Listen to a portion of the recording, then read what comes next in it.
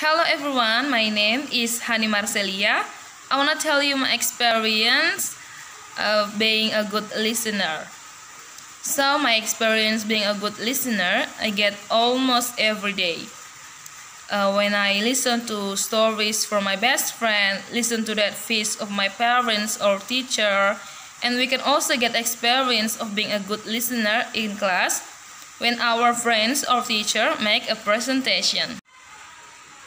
When my best friend tell me something what happened to her, I will listen carefully because when someone want to tell their sad or happy stories that they have that believe that we are a good listener to them.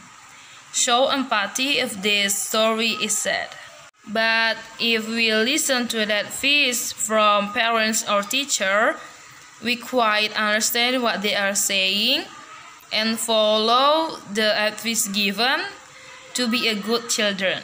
Last, um, being a good listener when the teacher or friends doing a presentation, pay close attention and don't be distracted by other things such as playing cell phone or other things. Other things, and then ask question from what has been explained, but there is something you want to know. So you can see that you listen to them well. That's all I can give my experience. Thanks for watching my video and see you next time. Bye-bye.